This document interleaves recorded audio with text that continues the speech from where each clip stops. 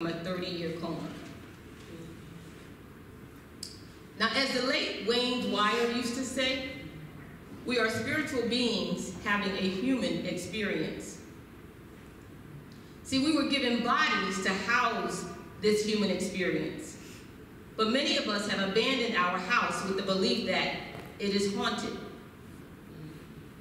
We see ghouls in the light and hear whispers in the dark, and the boogeyman is waiting in the closet. Who wants to stay in a haunted house? I sure didn't. We are afraid of being haunted by the child that died there. Yet, we live with the vulnerability of an abandoned house. See, even if we continue to mow the lawn and water the grass on the outside, keep it manicured to give it that appearance that you live there, an empty house is high risk for vandals. Vandals come in the form of creepers who can't afford shelter, so they may camp out in your backyard, or some may break a window and sleep inside.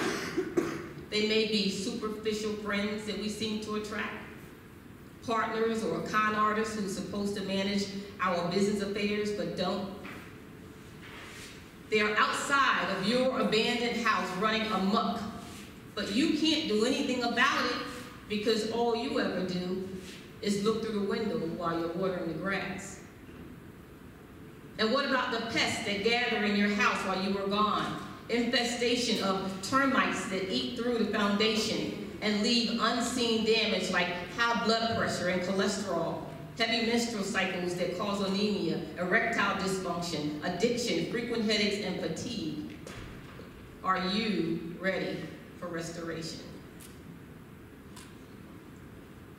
Today, I invite you back into your abandoned house. You don't need to ring any doorbells or use a key. you are still in the deed. No one's, no one's gonna own it. It's yours. For your spirit lives there and is waiting for your return. You cannot master the art of healing while you are outside of your body. Now, there are psychiatrists, psychologists, medical doctors, rehab counselors, self-help books, support groups, and all sorts of external aids. Unfortunately, to the degree that these aids foster or support your out-of-body experience, they will be ineffective. Now, please understand that I'm not suggesting that these tools are not helpful, but I am suggesting that they are not enough. If you are using these resources and still experience regular fatigue, depression, fear of physical intimacy, patterns of addiction or self-harm, insomnia, or mysterious pain, you may be having an out-of-body experience, and not in a good way. Let me clarify what I mean to you by out-of-body. The out-of-body experience is a pattern of living that allows you to ignore or deny the effects of sexual abuse by emotionally distancing yourself from the physical body. Let me say that again.